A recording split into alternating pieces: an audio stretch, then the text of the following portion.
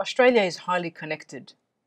And so I'd say our Australian Bureau of Statistics indicate that the vast majority of Australian households have an internet connection. I would say somewhere in excess of 80%. Even remote towns now have access at local kiosks or libraries. And so everyone has access.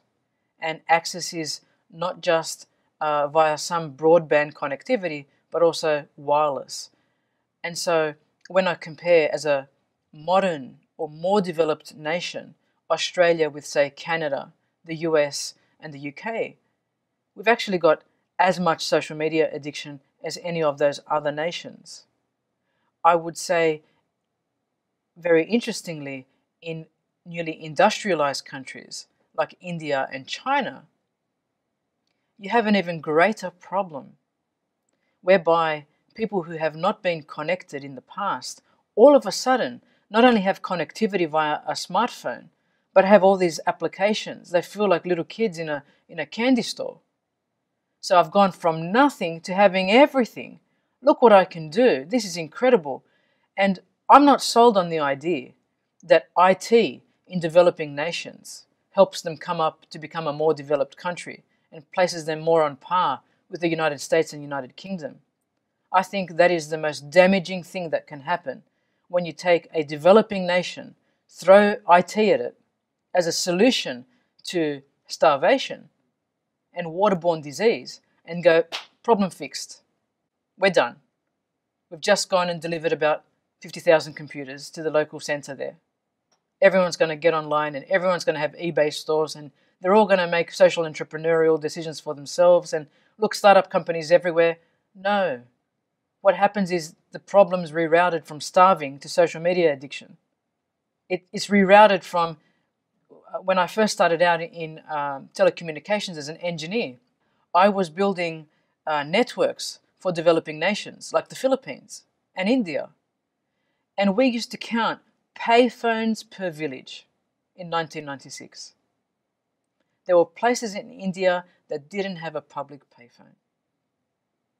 And we thought, look at look at what we're doing. We're putting in public payphones so that people can actually talk to others in different state circles in the same country. They had nothing in rural areas. And we've gone from that and a similar uh, environment in the Philippines to where now we have Filipinos texting one another across the table, texting one another while they're sitting next to each other. We've got Indians just constantly on social media. That's not productive. That's not helpful. Because in the end, we're still humans. We still need to face each other. We still need to say, deal has been won, or I'm going to deliver this for you. And so I think we're almost re, re, remapping the problem that we have. We're shifting it. It's shifting. So instead of starvation, we're now worrying about addiction.